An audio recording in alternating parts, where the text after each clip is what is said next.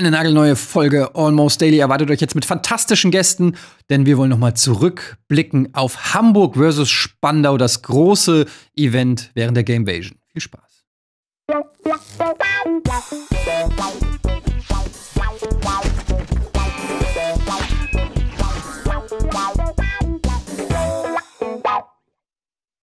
Herzlich willkommen zu einer nagelneuen Folge Almost Daily und ich freue mich sehr, dass wir jetzt hier hohen Besuch haben. Die liebe Masat ist dabei. Hallo. Auch bekannt als Maluna. Ähm, dann haben wir den Maxim aus Leipzig, glaube ich, zugeschaltet. Stimmt das? Hallo. Ja. Nee, ich bin sogar noch in Berlin. Ah, du bist noch in Spandau?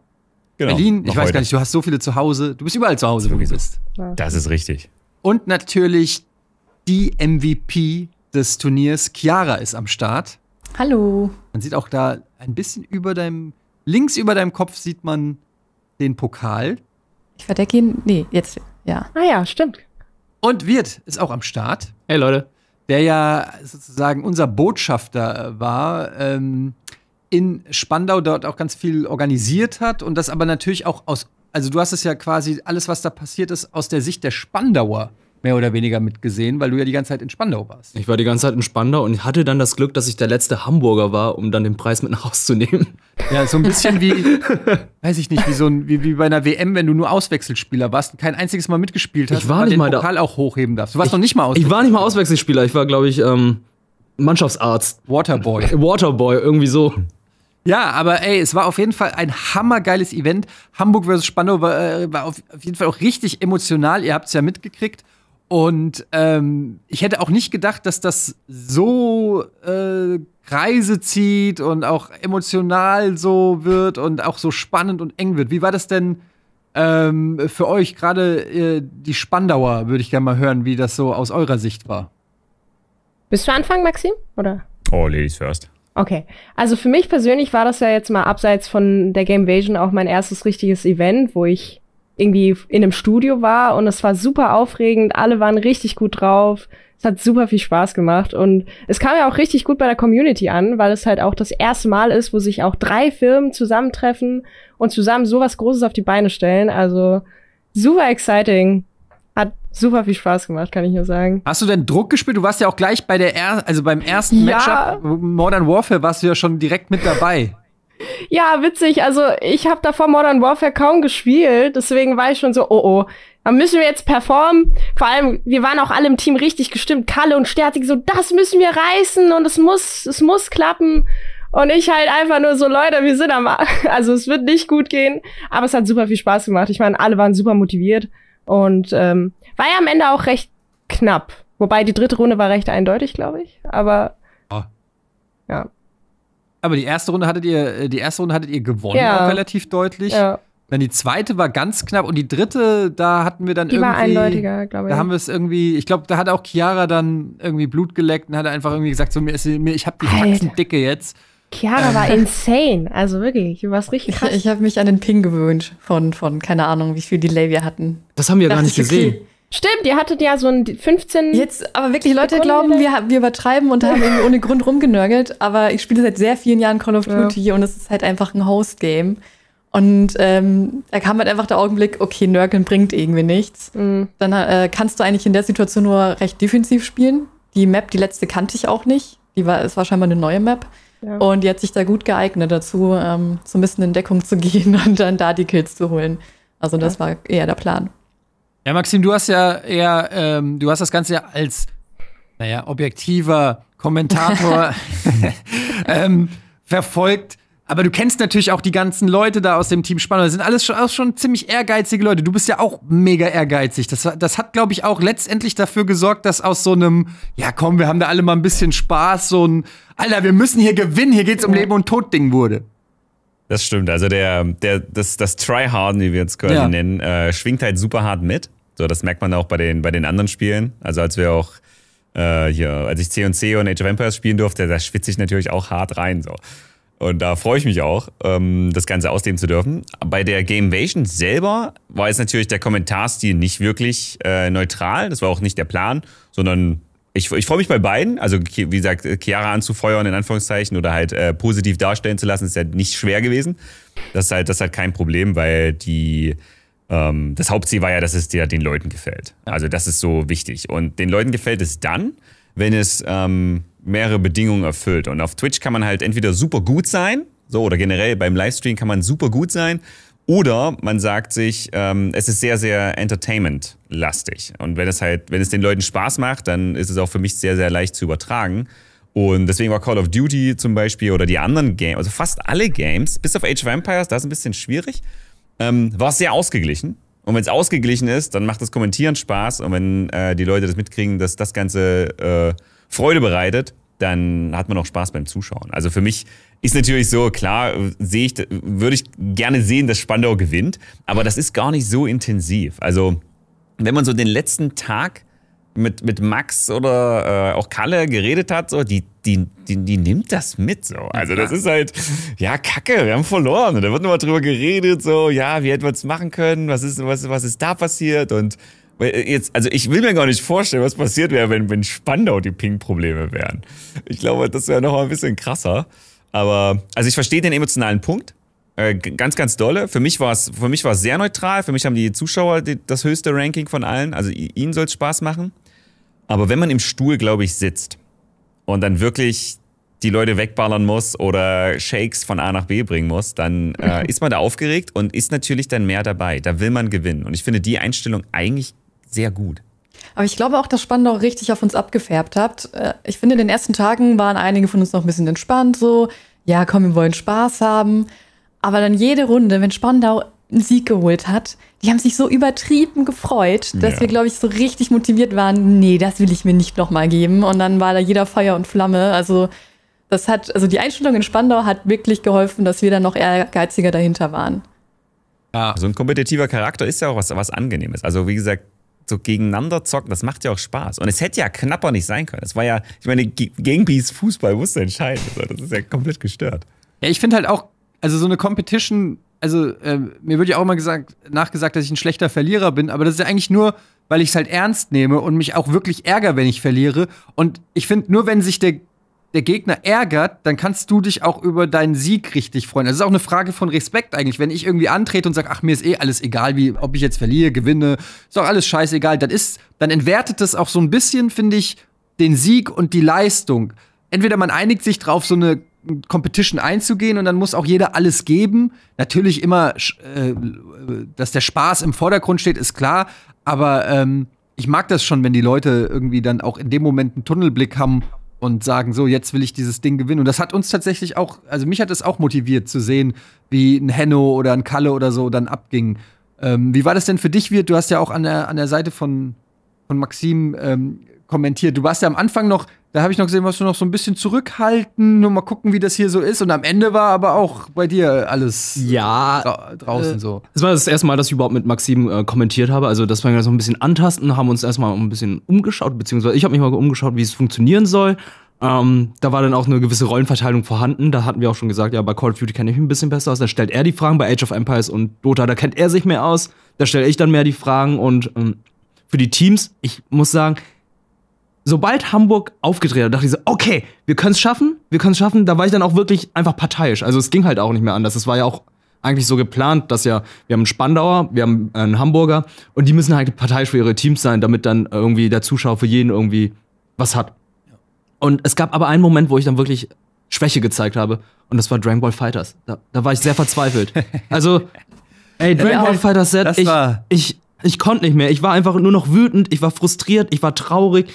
Das Weil war der das Moment. natürlich ein Spiel ist, was du in- und auswendig kennst. Ja, zum einen das und zum anderen, wie Max Henno die ganze Zeit ihr auf eine Taste gekloppt habt und ihr einfach nichts machen konntet. Ihr am Anfang drei Son Gokus hatte und ich war so, oh nein, nein. Ja, das war so eine Sache. Wir hatten hier Wir Martin, verlieren. Martin, unseren Aufnahmeleiter, der das Spiel wohl auch ganz gut kennt.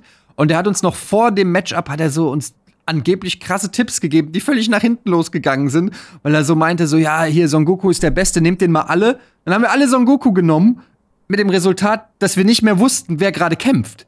Weil die auch, Ja. im- ich dachte, dann hat vielleicht der eine ein rotes Kostüm, der andere, blau. nee, die hatten, die sahen alle exakt gleich aus. Die hatten minimale Oder, oder also für mich sahen die auf jeden Fall, die sehen eh schon alle gleich aus. Und wenn es dann noch mal dreimal der gleiche Charakter ist, kann sein, dass er irgendwo ein Strähnchen anders hat oder so. Aber in dem Chaos und hier fliegen da die Feuerbälle um die Ohren. Und dann haben wir das mit dem Wechseln der, der Spieler nicht hingekriegt. Und es war ein Heidenchaos und ich habe es auch äh, Simon war richtig sickig, ne? Der hat der war so sauer und ich habe dann der hat dann diese Bälle da dauernd kassiert oder ich glaube, es war Simon, der sie kassiert hat und dann habe ich gemeint so, du musst mal wechseln. Hat er auch gesagt, so, was? Ach komm, halt jetzt mal die Fresse! So, ich, okay. ähm, also da war schon, man hat sich richtig hilflos gefühlt bei Dragon Ball. Dabei war das eigentlich eine Disziplin, wo ich dachte, da werden wir, gehen wir als Favorit rein. Ja, also ähm, ich glaube, Team Spandau dachte auch so, ich habe ja gesagt, ja, Ede, der ist gut in Tekken. Und die machen dann so, ach, Kampfspiele sind doch alle gleich. Und das ist keineswegs so. Ja.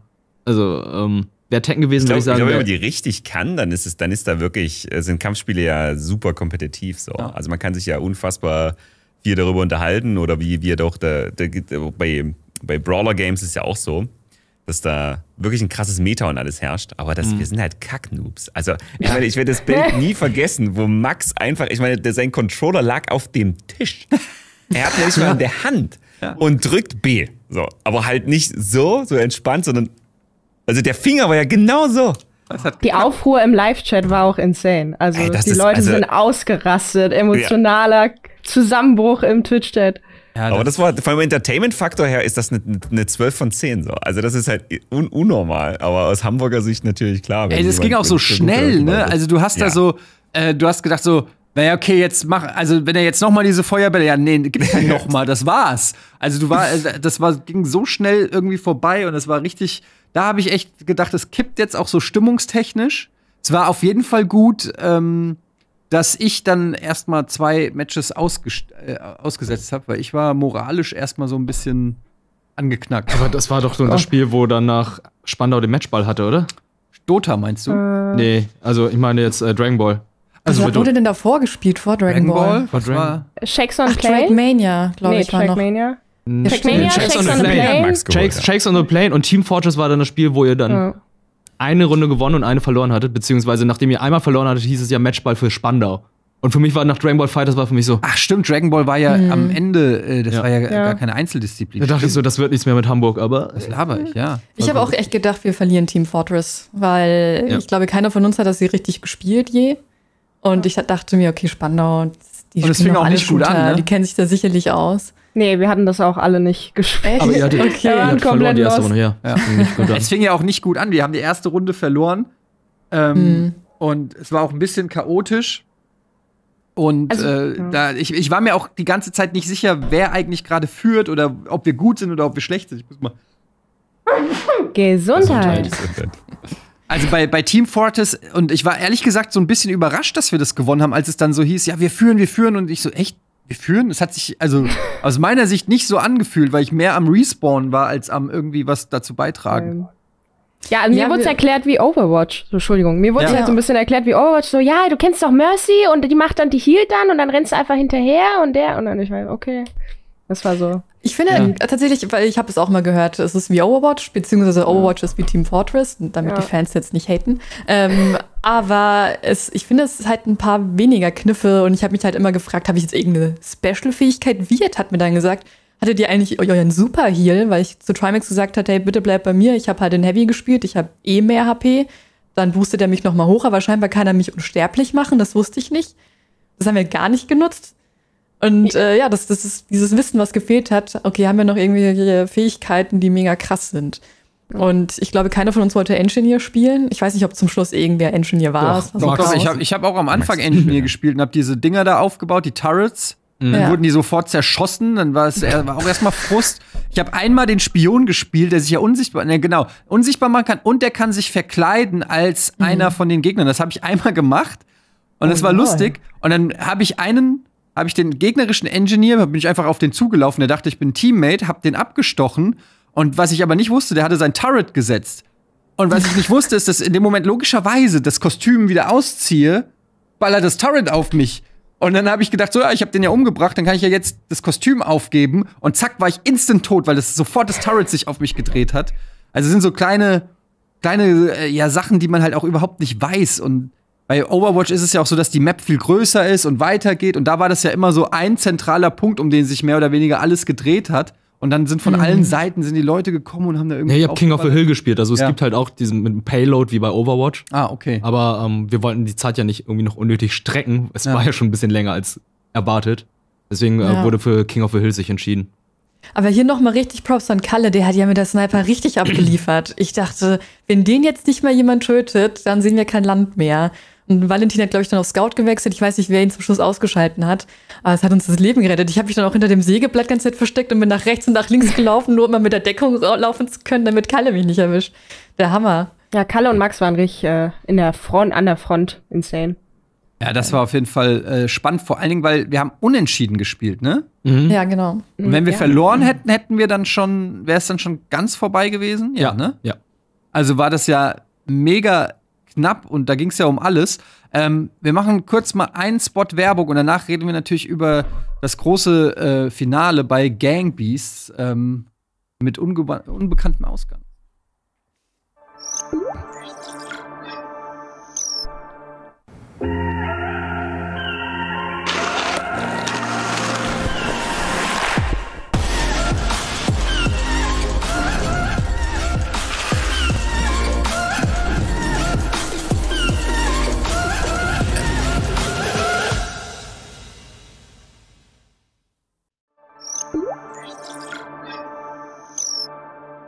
Willkommen zurück bei Almost Daily. Wir sprechen über Hamburg versus Spandau, die große Competition im Rahmen der Gamevasion. Jetzt haben wir schon über ganz viele Disziplinen gesprochen. Bevor wir allerdings zum großen Gangbeast-Finale kommen, wir haben ja noch über Dota zum Beispiel gar nicht gesprochen.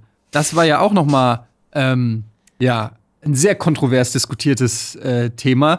Denn ähm, zum einen muss man sagen, war da auch die Zusammenstellung der Teams. Ich weiß nicht, wie es bei euch war, aber wir hatten zum Beispiel mit Nils natürlich jemanden in den Team, der bis zu dem Tag, glaube ich, noch nie das Wort Dota gehört hatte und dementsprechend überfordert war. Ähm, es gab großes Gelächter, als er ähm, noch nicht mal gewusst hat, wie man auflevelt, also seine Skills levelt. Ähm, und er hat, er hat es aus seiner Sicht, ich habe dann mit ihm ge gesprochen und er hat das aus seiner Sicht gesagt, naja, sein Team, die haben alle gesagt, naja, dann hängst du, mach einfach, was wir machen, häng dich an uns. Und mit dem Startschuss waren alle weg. Und keiner hat sich mehr um ihn gekümmert, weil sie ihn auch alle als Ballast gesehen haben und waren alle so im Tunnel, dass keiner mehr dem Nils irgendwas gesagt hat. Und er ist dann mehr oder weniger orientierungslos über die Map ge gegurkt. So war das aus, aus Rocket Beans Sicht. Wie war das bei euch? Wer, wer, konntet ihr alle Dota oder was? Also, ich, die Leute, die gespielt haben am, am Donnerstag, die konnten alle mehr oder weniger League of Legends, glaube ich. Aber Dota war, glaube ich, keiner so richtig bewandert von. Also, so. Nee. Wie ist das denn, Also- Maxim? Kann man, wenn man League of Legends hat, ähm, kann man da irgendwas übertragen von Dota, jetzt mit Ausnahme, dass es Lanes gibt und ein, irgendwas zerstören muss? Oder ist das eigentlich ein komplett anderer Schnack? Es ist schon ein hart anderer Schnack so. Also, dass man die Grundmechaniken dahinter versteht, ja. Und das ist wahrscheinlich so, wenn du FIFA spielst, kannst du Pro Evolution Soccer oder so zocken. Aber es ist halt irgendwie trotzdem, also einige Dinge fühlen sich identisch an, aber es ist wirklich ein ganz anderes Spiel. Also man merkt von den beiden Games, wer der Vater auch war oder ist. Und äh, ich habe vorher versucht, ihnen so ein bisschen ein paar Tipps äh, zu geben, welche Charaktere sie nehmen können, sollten. Also auch, damit ich es besser kommentieren kann, weil mein Dota-Wissen, äh, das wurde mir dann auch im Nachhinein, oder das wurde mir auch im Vorhinein gesagt, ist ja fünf Jahre alt. Das heißt, ich konnte es kommentieren, ich konnte viele Dinge sagen, aber viele Dinge sind auch sehr, sehr outdated gewesen, was eigentlich mehr zu mehr Lachern geführt hat. Also es war diesbezüglich äh, total in Ordnung. Aber es fühlt sich schon ganz, ganz anders an. Also gerade Sola, der ja wirklich äh, aktuell die höchste Elo von, von uns hier im Büro, sage ich mal, in League of Legends hat, also ist der beste Spieler, kann man sagen, ähm, war da vollkommen verloren. Also, Was sind denn die er Kernunterschiede jetzt mal für einen Laien wie mich, der äh, beides nicht gespielt hat? Ähm, also Dota-Games gehen erstmal grundsätzlich länger. Also von dir wird mehr Ausdauer gefordert. Dota ähm, hat ein anderes Sichtsystem und ein anderes Klippensystem. Das heißt, in League of Legends gibt es Büsche, da kann man, äh, die kann man, da kann man nicht reingucken. Und wenn man drin ist, ähm, kann man, ist man unsichtbar. Und in Dota ähm, gibt es quasi, du kannst nach oben und nach unten kämpfen. Es gibt also den Obi-Wanschen High Ground. Und der kann wirklich gut genutzt werden. Also entsprechender Schaden wird reduziert. Die, die Shops sind anders in-game. Du hast quasi einen Shop zu Hause und du hast einen Shop, äh, du hast noch mehrere Shops auf der Karte. Glaube ich, dass es immer noch so ist. Dann hast du dieses Transportsystem. Das bedeutet, in League portest du dich ja oft zurück und heilst dich da, kaufst ein und dann gehst du gestärkt auf die Lane. Und bei Dota kann man das so ein bisschen hin und her packen. Und aus League, also wenn man das Spiel nur, nur mit Dota anfängt oder nur, nur mit LOL, ist das fein. Aber das Ganze zu kreuzen ist, ist äh, einfach unfassbar gefährlich. Also auch Türme zum Beispiel. Kein Dota-Spieler erträgt die Türme in League of Legends. Und umgekehrt denkt natürlich Sola, ich stehe unterm Turm und bin geschützt. Na, der passt auf mich auf. Ist halt nicht wahr. So, der Turm ist halt so, der ist so, der ist so ein Beiwerk. In League of Legends schießt sich der Turm nach zwei Schüssen weg. So, da bist du tot. Und in Dota äh, kann man den gefühlt nach fünf Minuten oder nach zehn Minuten ignorieren. So, da kann man die Leute halt äh, bedrohen, da kann man die diven und an diesen, an diesen Schutz, an den Sola gewöhnt war, der, der musste ja wirklich gegen Steffen spielen. Ne? Das ist halt auch Kacke. So, für, für ihn gewesen, weil er wirklich gut war. Und solche, solche Denkweisen fallen dann weg. Wenn du normalerweise weißt, ich muss nur am Turm stehen und ein paar Minions töten, kriege Geld, ist kein Problem. Und Steffen killt ihn halt nach zehn Minuten. Unter seinem Das Turm. war für mich zum Beispiel auch komplett neu, dass, äh, wir nennen ihn ja immer Holzfäller Steve, Hm. äh, dass, dass der Steve so, ein, so eine Maschine ist in, in äh, Dota, das ist mir völlig unbekannt Der gewesen. ist nicht nur in Dota, der spielt ja auch Shooter. Also da ist er auch richtig gut. Also Ernsthaft? Rainbow Six und so. Trackmania auch. Trackmania ist auch gut, Valorant ist auch gut. Also ich höre das alles zum ersten Mal. Der ich, Typ ist eine Maschine. Der Das ist wusste ich gar nicht. Der redet dann So ein stiller über- Riese. Ja, ein stiller Riese. Aber das war natürlich krass. Dann hatten wir natürlich beim Dota-Match diese Geschichte, ähm, dass Henno ausgetauscht werden musste. Ähm, wo man natürlich sagen muss, da konnte Henno am allerwenigsten dafür, denn ähm, wir haben einfach bei der Gamevasion ganz viele auch verkaufte Items gehabt. Also verkauft heißt in dem Fall ähm, Sendungen mit festen Sponsoren, die dann auch zu festen Zeiten stattfinden mussten mit äh, gewissen Leuten. Und da war einfach auch Henno einer, der äh, ganz viele Sachen da auch wegmoderiert hat. Und er musste dann einfach pünktlich aus dem, aus dem Set raus. Ähm, das war einfach so ein, das ist halt auch schwer, so vom Timing her 100% alles dann so hinzukriegen. Ähm, und wurde dann ersetzt durch Michael Hänisch. Der war natürlich für alle ein unbeschriebenes Blatt, hat aber dann mehr oder weniger, hat, muss man so sagen, Spandau den, den Win eingewechselt, weil der hat einfach komplett rasiert. Ja, also er bringt halt sehr, sehr viel Erfahrung mit und für das Spiel, es war halt, äh, wie gesagt, schwer zu planen. Ich weiß, dass diese Aufwechslung, für uns ist das eine mega krasse Storyline gewesen. Ja. Also so sowas, ich habe, ich habe also den Chef noch nie spielen sehen. Also not even close. So, also Max hat ja quasi auch schon äh, den Tagen danach so ein bisschen berichtet. Er ist ein sehr, sehr, sehr zurückhaltender äh, Mensch diesbezüglich. Also auch nicht auf irgendwelchen Aftershow-Partys oder so. Und er musste richtig lange überzeugt werden, dass er, dass er das macht. So, also das war das, also man wusste ja schon, Max muss gehen, weil normalerweise wäre das Dota-Match schon nach 20 Stunden vorbei. Das war ja noch die schnelle Variante vom Spiel. Das war ja ein anderer Spielmodus, der, wo Leute noch nie gesehen haben, dass das so. 40 Minuten gehen kann. So, das, meistens ist es nach 20 vorbei. Und es musste wirklich sehr, sehr viel Überzeugungsarbeit geleistet werden und er hat das dann quasi gemacht, aber halt offensichtlich viel Dota-Wissen mitgebracht. Ja. Also wenn man halt E-Sports in Deutschland mit, mit aufbaut, will ich mal sagen, dann hat man natürlich die eine oder andere Stunde schon reingesteckt. Aber, damit das jetzt nicht so übelst unfair klingt, ähm, hat er nicht mit den normalen Settings gespielt. Er hat quasi Max äh, Settings gehabt und das ist für ihn eine Katastrophe, weil er halt vor sehr langer Zeit Dota gespielt hat. Das heißt, bei ihm war zum Beispiel Linksklick laufen.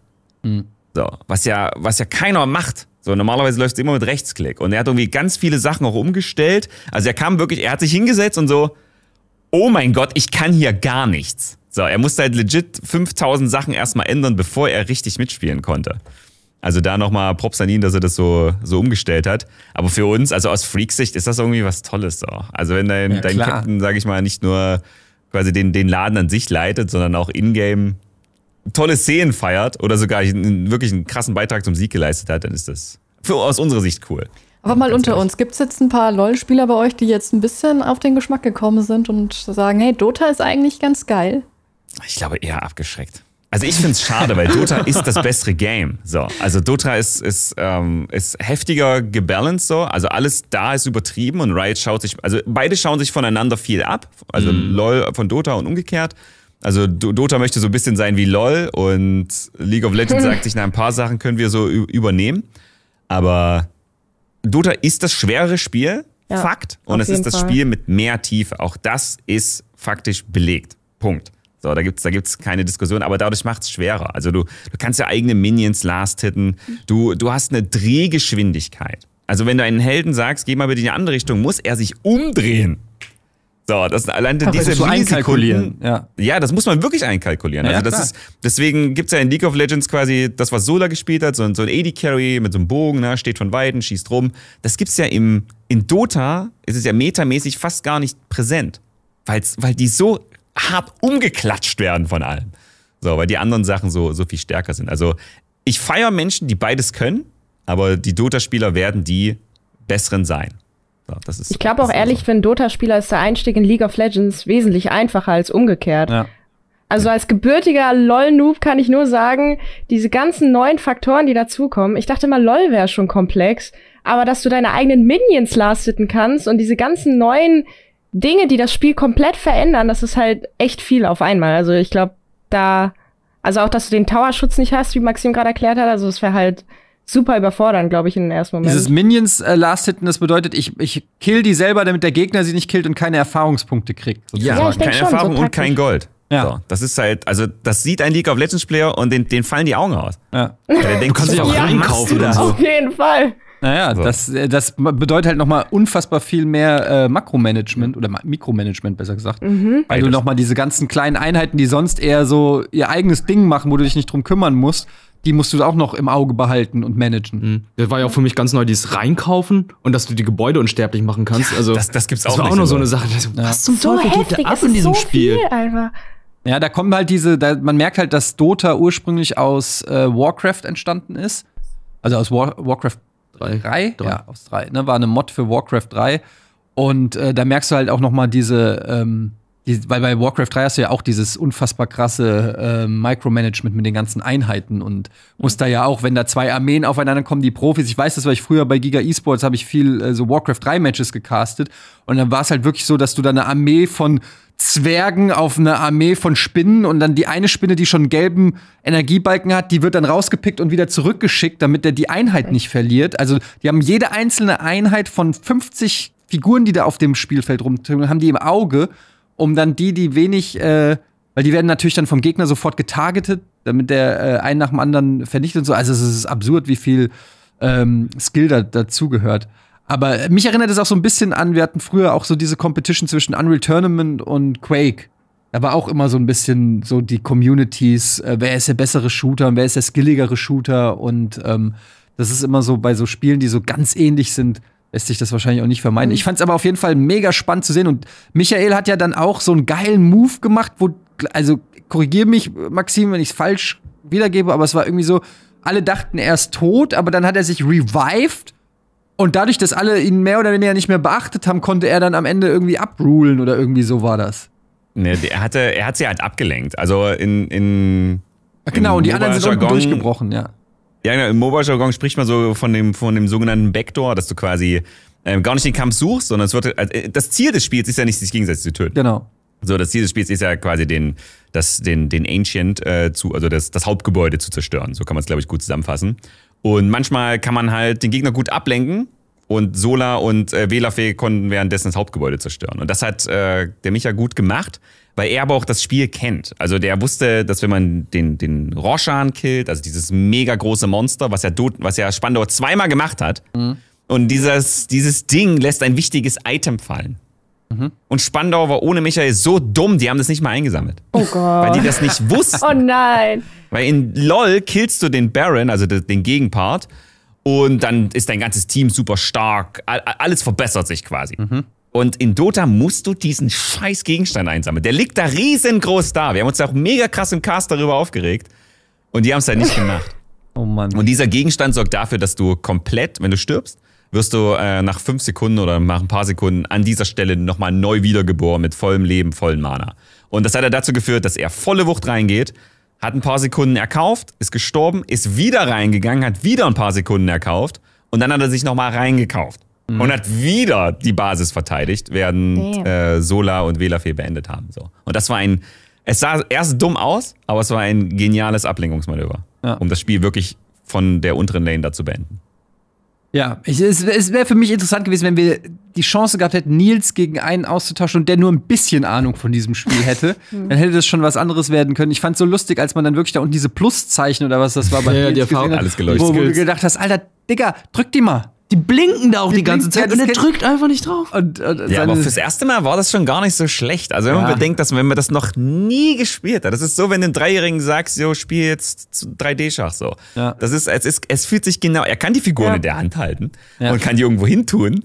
so, aber es ist, es ist, also er hat das da schon. Er hat ja auch viele Sachen, also Spells, die er hatte, ja benutzt und getroffen. Mhm. Es ist bloß auch wirklich schwer, weil das Spiel einen fordert, auch jemand neben sich, Entschuldigung, jemand neben sich zu haben und ihm zu sagen, ja mach jetzt das, Ja. mach jetzt dies und, und sich gegenseitig zu helfen. Also wir haben auch noch die Scheiben und so dazwischen. Also das ist ja, es, es ist ja nicht mal böse gemeint. Und ich fand es halt auch schade, dass Hamburg ihn nicht mehr bei der Hand genommen hat. Aber es ist manchmal gar nicht so einfach, jemanden bei der Hand zu nehmen, während du quasi auf einem Trampolin und einen Elefanten unter dir Ballett tanzen musst. Das finde ich halt ist das Problem wirklich an diesen MOBA-Spielen, die ich eigentlich super interessant finde. Gerade weil ich, ähm, wie eben schon gesagt, bei Warcraft 3 mochte ich das mit den Helden, aber nicht das, äh, dieses Micromanagement hat mich überfordert. Deshalb finde ich das eigentlich ganz geil. Nur, ich habe früher mal so ein bisschen mal Dota reingespielt oder auch mal ganz in der Anfangszeit äh, League of Legends. Und äh, du wirst ja als Newbie wirst du ja so weggeflamed von, vom Rest der Mannschaft, weil du bist Oh ja. als Mannschaft natürlich immer nur so gut wie das schwächste Glied. Und wenn du dann als Neueinsteiger da reinkommst, die disconnecten die oder die schreien dich an und so. Ja. Und das hat mich dann sofort, äh, weiß ich nicht, da habe ich dann nie wieder angerührt. Ähm, da fehlt mir noch so ein bisschen der, die, Einstiegs, die Einstiegshürde ist irgendwie richtig groß bei diesen MOBA-Spielen, habe ich das Gefühl, wenn du nicht mit vier Kumpels spielst, die alle auf gleichem Niveau sind. Es wäre auch ein Spiel, was ich zum Beispiel nie spielen würde. Wenn, ich, wenn es für mich komplett neu wäre, wo ich mir denke, ich muss 140 Milliarden Champions lernen, Ja. sonst wie viele Fähigkeiten, also ganz viele, die auch zum Beispiel bei LOL eine Pause gemacht haben für ein paar Monate, kommen zurück zum Spiel und werden halt weggebombt, weil sie nicht wissen, was der Gegenüber gerade macht. Ja. So, oder was das, auf was er, was er quasi achten muss. Also ich kann definitiv bestätigen, dass es unfassbar einsteigerunfreundlich ist. So, Ja. also wenn man Ja. einmal drin ist, ist geil. Ne? Aber Ja, wenn man, wenn man das neu lernen muss, holy shit, ich, ich würde es legit nicht machen.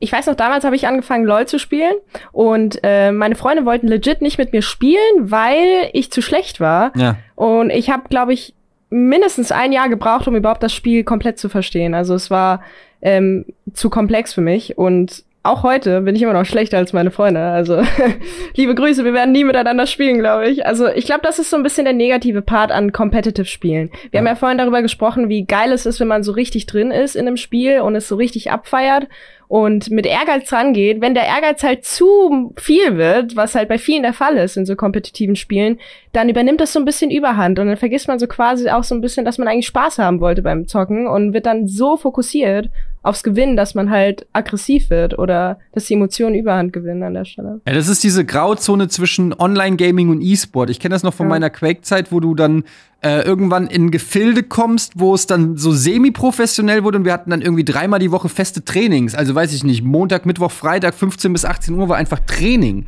Also wie andere in Sportvereinen Oh gehen, haben wir da wirklich dann uns getroffen und wenn du musstest dich an und abmelden und es wurde geschimpft, wenn du nicht zum Training gekommen bist und so Krass. Geschichten. Und ähm, am Wochenende waren dann natürlich dann die Ligaspiele, wo dann, äh, wo es dann auch hieß, bitte geh mal heute früh ins Bett. Ne, also da war dann nicht Freitag Party machen, wenn am nächsten Tag ein Quake-Match war oder so. Also es wurde dann schon sehr ernst genommen und irgendwo hat es dann bei mir dann auch aufgehört, wo ich gesagt habe, ja Leute, also äh, ganz ehrlich, ich will immer noch Spaß haben mit dem Ding. Aber die, aber es gab dann eben auch die paar, die es halt durchgezogen haben und dann auch durch Deutschland getourt sind, auf Turniere gegangen sind, auch Geld damit verdient haben und so.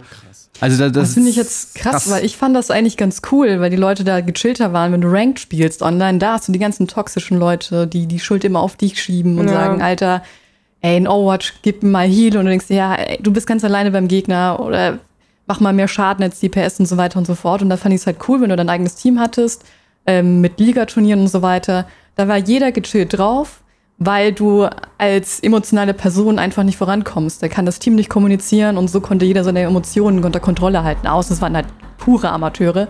Ähm, aber das fand ich halt cool. Deswegen, ja. Ja, Premates, die sich auch gegenseitig anschreien, sind ja auch uncool. Also das ist ja, also wenn dich Randoms anschreien und fertig machen, ist ja eine Sache, aber wenn du mit Leuten Premade quasi in ein Game reingehst und die sind dann auch toxic, das ist natürlich ziemlich blöd. So. Ja, wir hatten die Situation bei Gang Beasts, glaube ich, wo Echt? Valentin aus Versehen runtergefallen ist. Und dann Ja, alles ja, so. das, das war aber auch schnell wieder weg. Ich hatte einmal Ja, ja. Valentin nicht angeflaumt, aber ich sag mal höflich gefragt, was er sich denn bei der Aktion gedacht hat. Das Was war diese, Ja. Das war diese eine Aktion, wo äh, in diesem Rund Schornstein oder was das war. Ja, genau. Und wir waren irgendwie drei gegen eins, glaube ich, noch. Und, mit äh, ja. und der letzte hing schon nur noch so mit einem Arm da dran. Und einer von uns hat gehauen und ich war schon weg und ich habe gesagt, ja, Valentin, geh doch und hilf ihm. Und Valentin ist hingegangen und gerade, also es war natürlich auch schlechtes Timing. In dem Moment ist der, ist der Spandauer runtergefallen und aus irgendeinem Grund, also ist, ist der Spandauer, mit dem der ihn getreten hat, runter, runtergefallen. Und wenn Valentin einfach stehen geblieben wäre, hätten wir die Runde gewonnen. Und Valentin ist einfach mit runtergesprungen. Das kam jetzt zum Unentschieden dadurch. Das hab, ja, kann mich Und das war so, in dem Moment war ich so geschockt, weil ich hatte schon diesen Sieg äh, vor Augen und dann ist er damit runtergesprungen. Ich so, Valentin, was machst du? Und Valentin war natürlich auch, der hat es ja nicht extra gemacht, ne? Und Gangbeast ist ja so komisch zu steuern und, ähm, Ja, und teilweise bist du ja nicht wirklich immer Herr der Situation, also immer nur so ein bisschen zu, also du bist ja immer nur ungefähr, weißt du, was dein Typ macht, aber nie so richtig. Und ähm, dann hat er gesagt, ja, was soll ich hier machen? Ich kann doch nichts machen. Und das war aber nach einer Minute wieder Ja, aber ich habe Valentin halt noch nie so emotional erlebt. Und ich dachte, ey, bitte jetzt nicht im Finale quasi, nur kurz zum Finale. Aber ich fand das super. Durchdrehen. Ich und ich so, Leute, es ist unentschieden, ist alles okay. Ja, aber so muss das sein. Das, hat, das war auch so ein Wake-up-Call. Und ähm, ich glaube, das war, da hat er auch die Ernsthaftigkeit in dem Moment, hat er sie, Ja. sie richtig wahrgenommen. Ich frage mich, was Trimax die ganze Zeit gedacht hat. Ach, Also ich glaube, die saß nur da und hat uns angelächelt, so, man sind die bekloppt. Keine Ahnung. Ja, Trimax, aus Trimax hätte ich eh noch nicht so schlau. Der ruht in sich selbst, der ist so Ja, ganz ruhig und so. Ich hatte einmal gab es so eine Situation, da habe ich zu ihm gesagt, ey, Trimax, lass dich doch nicht von Revi dauernd so, äh, lass dir das doch nicht alles gefallen. Und er, und er so, hm, ach was, der macht doch nicht seinen so, Ich glaube, Trimax ist da, hat er, glaube ich, das dickste Fell der Welt. Ja. So. Also ihm ist das, ihm ist das, glaube ich, buchstäblich egal. Ja, das prallt echt ab, und, alles. Und er, ich finde, er war bei dem, bei dem gesamten Event so ein richtig krasser Comedy-Faktor. So. Ja. Also, Ich fand's so witzig, es sah teilweise aus, als hätte er ein Freescreen, weil er sich nicht bewegt hat, wenn er gezockt hat und hatte so diesen konzentrierten Blick und er hat sich einfach null geregt und Leute so, ist, ist der Stream kaputt? Ist alles okay? Ja, das Ding ist halt, also er tryhardet halt wirklich. Also wenn er, wenn er weiß, so bei Shootern, da ist er definitiv mit dabei. Aber so, keine Ahnung, also man muss halt bei vielen, also schlagfertig war er, finde ich, bei dem, bei dem Cast, als er dann selber kommentieren durfte, die, die Championships. Die Championships, Das war, das war mega gut. So, ich habe da nochmal noch mal viel reingehört, so, da konnte er natürlich dann sich entsprechend auslassen, so, aber er hat halt, ich glaube, er hat einen permanenten Puls von 60. Ja. So. Er ist halt giga entspannt und wenn es drauf ankommt, macht er so, aber ich, ich, ich, ich, ich muss halt immer noch lachen, wenn ich, wenn ich daran denke, wie er, glaube ich, ich glaube, es war bei Call of Duty, wo er so erklären musste, wie, wie gut bist du denn? Ne? Und dann äh, sagt er dann, ja, ich habe das schon seit zehn Jahren gespielt und jeden Teil und ja, bin ganz okay. So. Das, war halt so ein geiler Abschluss. Ich habe kurz überlegt, ob, ob das mein letzter Satz bei der, bei der Abmoderation der Gamevasion wird. ja, Dann sage ich, haben zwei Leute, so ein richtiger 200 Leute dran ne? mitgearbeitet, es war super sick, alle sind glücklich, war ganz okay. Ja. So, das war, es war einfach, es, es, er ist halt wirklich witzig. So. Ja, äh, Aber und er ist, er ist wirklich so ein ganz eigener Typ und das, das hat echt Spaß gemacht mit ihm. Mir hat es ein bisschen leid getan, dass wir ihm dann im Finale nicht so oft eingesetzt haben, weil wir haben dann immer gefragt, so, ja, okay, wer, äh, wer ist denn gut in dem Spiel? Und er hat bei jedem Spiel hat gesagt, das habe ich noch nie gespielt, ehrlich gesagt. Ja. Und dann haben wir gesagt, ja, gut, dann äh, spielen Chiara und äh, Simon oder so. Ähm, weil an der Stelle muss man natürlich sagen, wenn wir äh, noch mal auf das äh, Entscheidungsmatch kommen, das Fußballspiel, ne? ähm, da kommt mir ein bisschen die Rolle des Trainers kommt mir ein bisschen zu kurz, des, des, des, des Team-Captains. Was, was hast du denn so gemacht? Naja, ich habe Etienne hat uns so angefeuert. erst also, Ah, also angefeuert. Ja, Also Moment, Backseat also Baby. wenn, wenn- Moment, wenn, wenn Jürgen Klopp einen Spieler einwechselt, der, dies, der, der drei Tore schießt, dann sagt auch jeder, hat er genial eingewechselt. Und ich meine, Simon bei einem Fußballspiel einzuwechseln, ähm, das, äh, das ist, muss, muss man, äh, den Mut muss man erst mal haben. Das hast du entschieden, weil Das ich ich habe mich da gewundert. Ich dachte so, ich hätte jetzt Valentin genommen, weil ich dachte, Ja, Valentin wollte versteht auch. Aber nichts. Simon hat gut abgeliefert. Der hat doch Ja. ähm, Henno, glaube ich, ausgespielt und dann sich voll cool mit einem geilen Breakdance-Move gerettet bei Gang. Er hat nicht nur Hello in der Hand gehabt, er hatte irgendwie auch Kalle in der Hand Ja, gehabt aber ich und kann, du konntest einfach rein. Mein Vorteil war natürlich, dass ich schon oft mit Simon Gangbies gespielt habe und ich weiß, dass er zumindest weiß, wie man einen tierisch nerven kann in diesem Spiel. Und das hat er ja dann auch im Fußballmatch genau gemacht. Ich war mir nicht sicher, ob er das mit dem Ball checkt. Das hat aber Chiara gecheckt. Aber was er gecheckt hat, war einfach die anderen beiden, also Kalle und Henno, einfach irgendwie aus dem Spiel zu nehmen. Das war aber jetzt nicht geplant. Also ja, ich hätte, das war, das hat er einfach instinktiv gemacht. Plötzlich steht er da oben in der Ecke und hält die wie Bud Spencer beide einfach so fest. Und die konnten qu- quasi nichts machen, während Chiara ein Tor nach dem anderen geschossen hat. Und ähm, das war schon äh, sehr emotional, muss ich sagen. Ja, da habe ich es auch live mitbekommen, dass äh, Kalle und äh, Max erst gar nicht gemerkt haben, wie sie den Ball so führen können, wie Chiara ihn geführt hat. Sie hat ihn ja so sehr. Du hast äh, noch festgehalten, oder? irgendwie festgehalten. Ja, ja. ja, irgendwie elegant Anfang- geführt, so ein bisschen. Ne? Elegant. Ja, ich es war hab's, so. ich hab's am Anfang auch nicht gecheckt. Ich erstmal hab ich, wusste ich nicht, wer ich bin und bin erstmal selbst ins Tor gelaufen, mein eigenes. Und dann wollte ich ihn aufheben, habe mich gebückt und dachte, ja, dann, dann trage ich ihn halt jetzt. Bis ich gemerkt habe, das hat so eine Art, äh, wie so ein Magnet, so ein Auto-Ding, Ja. äh, Ja, Ding, dass genau. es direkt an meinem Fuß kleben bleibt. Und ja, Ja, dann bin ich halt ja. ganz normal gelaufen. Das war eigentlich dann recht Ja. easy, wenn halt der Weg frei ist, ein Tor Ja. zu schießen. Ja, Ich habe mir genau, das Match auch nochmal angeguckt. Wir hatten auch tatsächlich ein bisschen Glück, weil ich glaube, beim Stand von 5-1 oder so gab es zweimal eine Situation, wo Spandau quasi Pfosten getroffen hat. Da war der Ball wirklich so einen Millimeter vor der Linie. Und wenn die beide reingegangen wären, hätte es 5-3 gestanden. Und ich glaube, dann hätten die auch noch mal eine, äh, so eine zweite Luft gehabt, ja, noch mal eine Ja. andere Moral. Aber da die sind die beide nicht reingegangen und stattdessen auf die andere Seite und dann stand es irgendwie 7-1. Und ich glaube, das war dann natürlich auch was, da musst du dann ist dann auch schwer die Moral. Du guckst auf die Uhr, du siehst noch zwei Minuten, äh, die sind jetzt schon sechs Tore vor. Das wird dann natürlich auch, ist auch so ein mentales Ding dann irgendwann. Ja, ja, ja. Das war so ein Aber 7-1 die- Stimmung war Ja. echt super. Das hatte ich so noch nie erlebt. Ähm, ich habe mich halt einfach über, wieder gefreut, kompetitiv spielen zu können. Das, da habe ich wieder ein bisschen, wobei jetzt brauche ich erstmal Pause für zwei Jahre. Aber ähm, das hat mir super viel Spaß gemacht. Und dann, wie gesagt, Etienne hat, du hast ja endlich das ganze Studio voll geschrien und angefeuert. Nach jedem Tor kam die Regie und hat gesagt, ja, macht weiter so. Und du hast einfach 50 andere Mitarbeiter noch im Hintergrund gehört. Das war so verrückt. Du Also wurdest sogar einfach- eingeblendet oben rechts auf einmal. Ja, stimmt. Ja, ich, war, ich wollte das unbedingt gewinnen einfach. Und ich hatte halt auch gemerkt, dass, dass äh, dieses Momentum gerade so ist, dass, weil der Ball ist ja auch direkt immer gespawnt. Und dass ich, äh, ich wollte immer wieder, dass ihr sofort checkt, wenn ihr ein Tor geschossen habt, sofort weiter, sofort weiter. Nie sich, also dass ihr nicht eine Sekunde euch freut über das Tor, sondern in so einen Modus kommt, wo ihr einfach nur noch funktioniert. Ball ist da, Ball ins Tor, Ball ist da, Ball ins Tor. Das war so ein bisschen. Ähm, aber es war, äh, irgendwann dann wusste man dann natürlich auch, das ist nicht mehr einzuholen. Und dann habe ich natürlich auch ein bisschen das genossen. Die, die Entspannung. Also der, der, der Druck ist dann so ein bisschen runtergefallen. Wir haben noch eine Disziplin, über die wir äh, reden müssen. Äh, Age of Empires.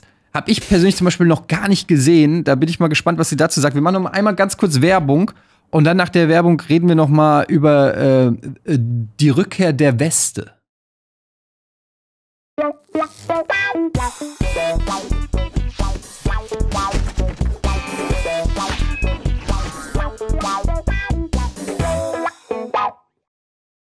Herzlich willkommen zurück zu Almost Daily. Wir reden weiterhin über Hamburg versus Spandau. Unser kleines Recap mit unseren Freunden aus Berlin bzw. Leipzig, mit dem Maxim und mit der lieben Masat und ähm, natürlich MVP. Chiara ist auch dabei und wird, der ja auch kommentiert hat.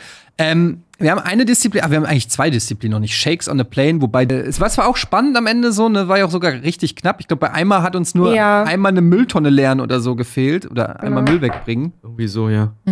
Das war knapp. Ja, da gab es auch das Problem, dass, glaube ich, am Ende in der zweiten Runde wurde nicht gezeigt, wie Müll abgezogen wurde. Und da gab es dann auch irgendwie Unstimmigkeiten. Zumindest kam es so dem Livestream vor.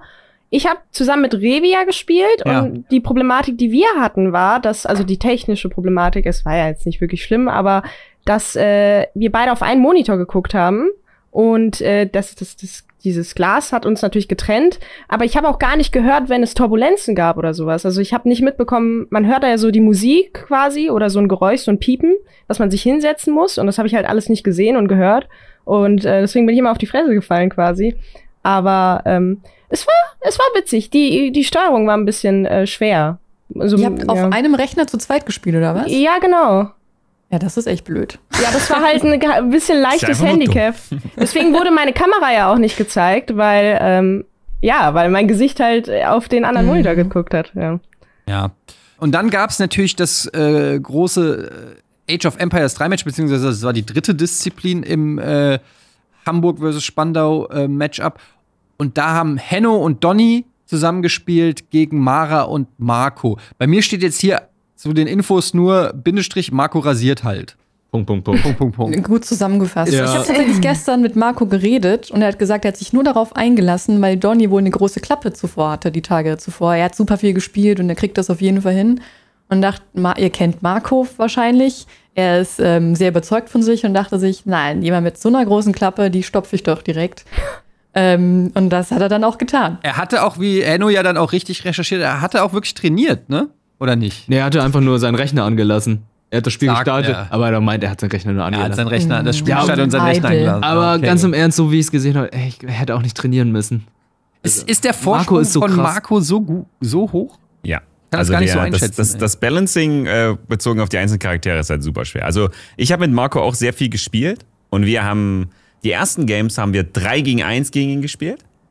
Dann war es so halbwegs ausgeglichen. Irgendwann waren wir halbwegs gut in dem Game und waren, wurden irgendwie besser. Und dann haben wir, also für uns war es ein Erfolg, wie bei Rage of Vampires von, mit Florentin und Donny, dass sie im 2 gegen 1 gegen Marco gewinnen.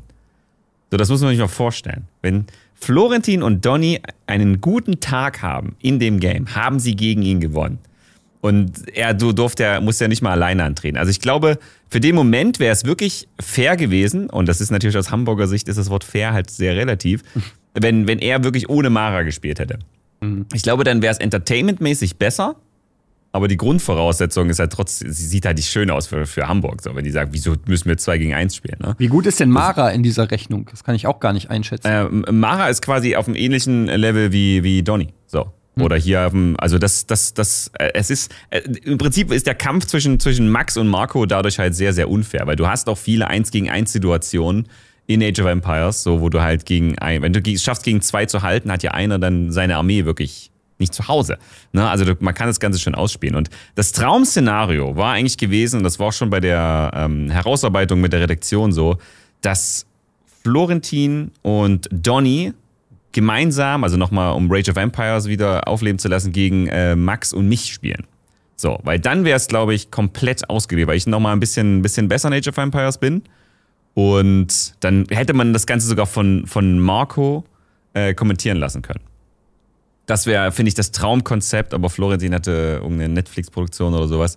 Also er hatte wirklich nur in der Woche Kennt man. keine Ja, Zeit. wer kennt es nicht? Das ist halt Glück gehabt. so ärgerlich gewesen. Aber das, das wäre das Traum-Szenario, was jetzt das Balancing angeht. Ja, das ist genau das, was ich meinte. So, ne? Das ist wie wenn, ich- äh, wenn, es klingt jetzt bescheuert, wenn ich das über mich selber sage, aber wenn ich jetzt bei Quake mitgespielt hätte, dann ist es so, wenn einer ein Spiel so ein, äh, einen Vorsprung hat, dann ist das natürlich immer so ein bisschen, ähm, ist ein bisschen blöd.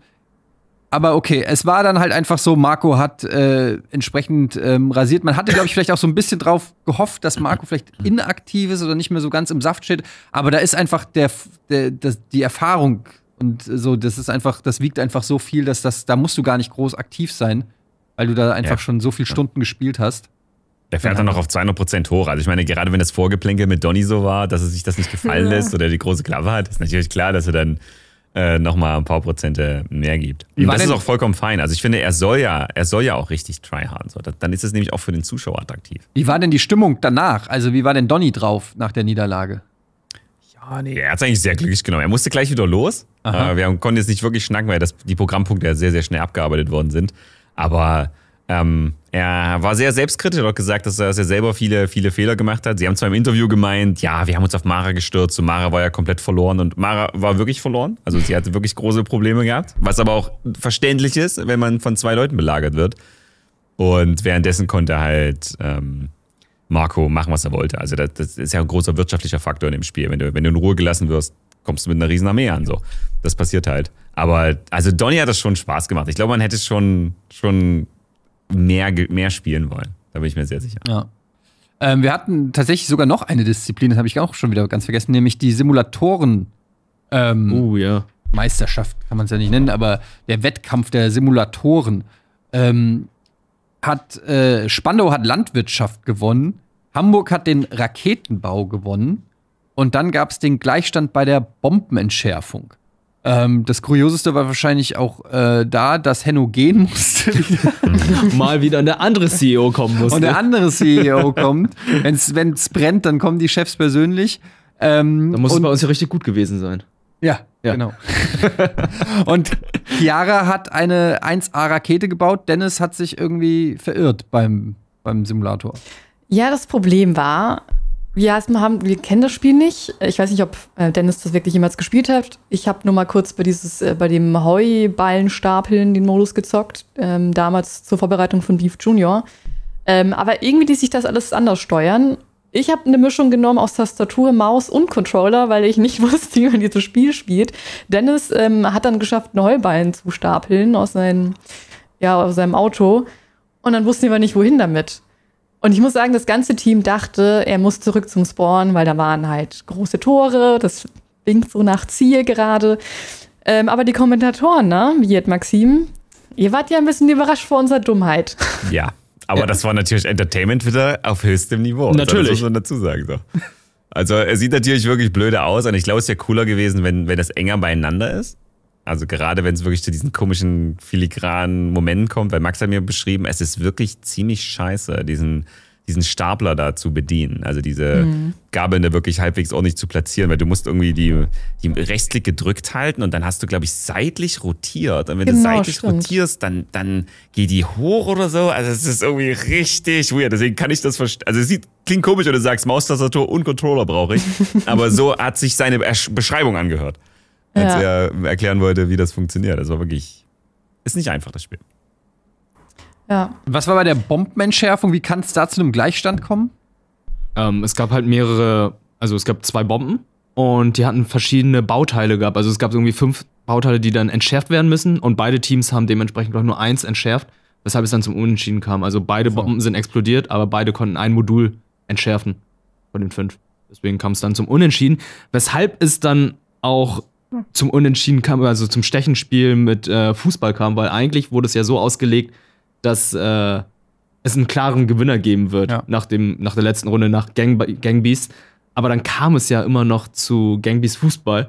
Und mir wurde von Maxim vorher dann noch gesagt, ja, ähm, also wenn es jetzt zum Unentschieden kommt, ne, dann werden wir Schere, Stein, Papier spielen. Und zwar die beiden Caster. Und ich dachte so, um Himmels Willen, das darf nicht passieren. Ich werde jetzt nicht die Oh gesamte nein. Last von Hamburg auf mich tragen in Schere, Stein, Papier. Hey, können wir das einfach mal testen, wer gewonnen hätte? Oh, Könnt ihr nee. das mal einfach spielen? Ja, das fände ich jetzt die aber auch gut. Einfach nur, dass wir diese, das in, in einer Paralleldimension wüssten, was passiert wäre. Ich sag, wir hätten den Stein genommen. Also, du hättest Stein Ich meine, genommen? Es gibt, es gibt ja verschiedene Varianten. Ja. Ich glaube, der, Stein ist so ein Klassiker, es einfach so einfach der gute alte Stein. Ja, einfach nur wegen der Simpsons. Ja, ja, Memes, ne? Aber Ja. es wäre Ja, ja das wurde- Free das, gewesen, Die oder? Schere, Stein, Papier-Idee wurde dann, die war quasi das Konzept vorher, weil es wurde redaktionell ein, eine Sache nicht bedacht. Es war ein, in einem, irgendeinem Spiel davor gab es ein Unentschieden. Ja, das waren die Simulatoren. Das war, war, waren, waren, war, war, genau, stimmt, die Bombe selber war das Problem. Ja, die Bombe Ja. selbst war das Problem. Es hätte einfach ein Team da gewinnen müssen, damit dann irgendwie zwei Punkte mitgenommen werden. Ja. Hätte wahrscheinlich einfach noch eine Runde spielen müssen. Aber Wäre bei Team wirklich- Fortress gab's Module doch auch knacken Ist Unentschieden. halt wirklich schwer. Ja, das, so. das war ja mit einkalkuliert. Naja, gut. Also, ähm, auf jeden Fall finde ich, kann man äh, abschließend sagen, dass das ein richtig geiles Event war. Und wenn man sich so das Feedback aus den Communities anguckt und so, auf jeden Fall Auftrag erfüllt, denn diese Leute sind richtig mitgegangen, haben richtig Bock gehabt. Und ich glaube, man hat auch was gestartet, was man in Zukunft ähm, wieder irgendwie beleben oder befeuern kann. Dann auch mit den Learnings, mit den Erfahrungen, die man äh, gemacht hat, aus was zu Teamzusammensetzung, Disziplinen und so weiter angeht. Aber war das, glaube ich, ein, ein richtig geiles Event und hat auch auf, auf jeden Fall eine Menge Spaß gemacht. Ne? Kann ich bestätigen. Gut, dann äh, sind wir jetzt auch schon am Ende mit der Zeit. Vielen Dank, dass ihr alle Zeit hattet, hier mitzumachen, dass ihr ähm, auch so toll mitgespielt habt bei Hamburg vs. Spandau. Wenn ihr Hamburg vs. Spandau noch verpasst habt, ihr könnt natürlich alle Folgen noch bei uns auf dem YouTube-Kanal angucken und nachholen, wenn ihr gar nicht wisst, wovon wir gerade geredet haben. Da ist die geballte Emotion ähm, nochmal abrufbar. Ähm, vielen Dank, äh, Masat, vielen Dank, Chiara, vielen Dank, Vielen Dank. Äh, Wirt, Maxim und vielen Dank euch. Das war's mit Almost Daily. Bis zum nächsten Mal. Tschüss.